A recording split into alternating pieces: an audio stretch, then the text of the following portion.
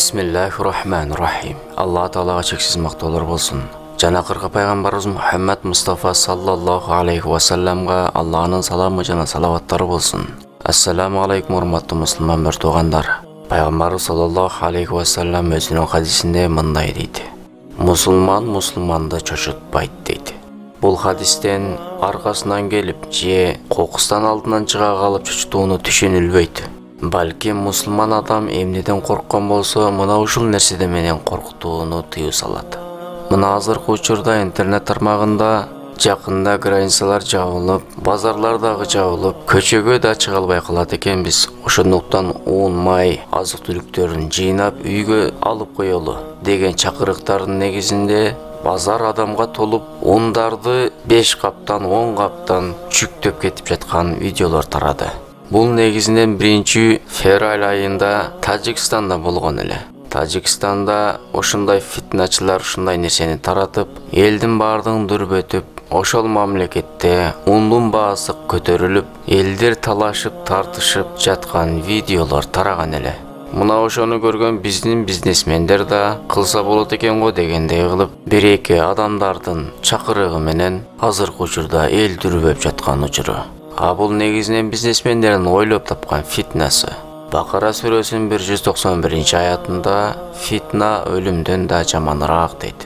нафсинин жамандыгынан беш он сом табам деп өлүмдөн да жаманыраак болгон күнөөнү мойнуна илип алып жатышат туугандар бир нерсени эске салып коеюн кыргызстан дин шариятты кармануу боюнча орто азия мамлекеттеринен алдыдабыз алладан гана болот деген ишеним кайда калды дааватчылар бул сөздү айта берип түшүңдөн чочуп ойготсо да айта турган болуп калдык го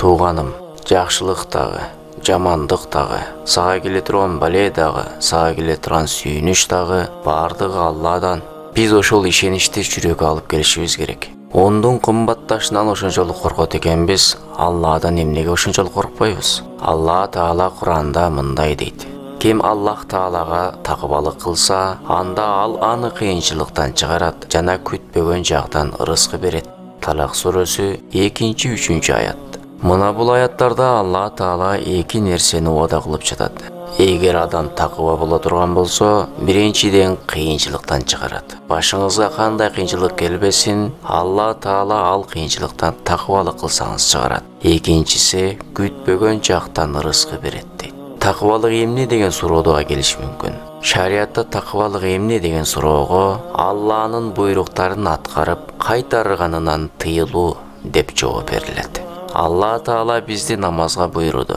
орозого буйруду зекет берүүгө буйруду мына ушул буйруктарга амал кыла турган болсок кайтарганынан тыйылсак арам жебе деди фитна чыгарба деди бирөөнү алдаба деди мына ушул кайтаргандан тыйыла турган болсок алла таала бизге күтпөгөн жактан ырыскы берип башыбызга келе турган кыйынчылыктан алла таала өзү чыгарат мына ушундай көчөгө чыкпай калат экенбиз ундун баасы көтөрүлөт экен үйгө азык түлүктөрдү камдап койгула деген чакырыктарга ишенбегиле мына бул баардыгы фитна. Эми элдин дүрбөп жатканынан пайдаланып ундун баасын ыксыз көтөргөндөр мыйзам чегинде жазага тартылуусу керек. Жана мамлекет тарабынан мына бул фитна бүткөнгө чейин азык түлүктөргө бир баа коюп бериши керек.